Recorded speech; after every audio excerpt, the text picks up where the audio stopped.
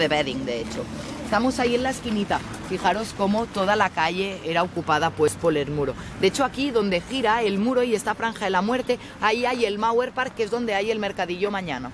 Es, Ah. Mañana tenéis ganas de mercadillo, este es eh, vuestro lugar aquí. Fijaros la imagen esta de la Gardenstraße. La calle esta es esta que baja por aquí.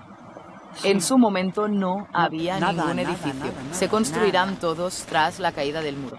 Yo cuando llegué a Berlín la primera vez mm, visité esta calle y pensé, hola, qué calle tan bonita, yo quiero vivir aquí. Y luego cuando miré los precios de los alquileres pensé que bueno, igual podía buscarme un barrio un poco más modosito, ¿eh? que esto es muy centro y aquí los alquileres son extremadamente caros.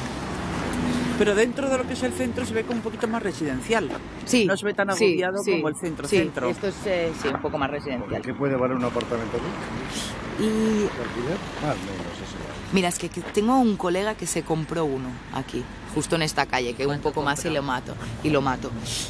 Es que no, no, no, sé, no sé si me dijo el precio.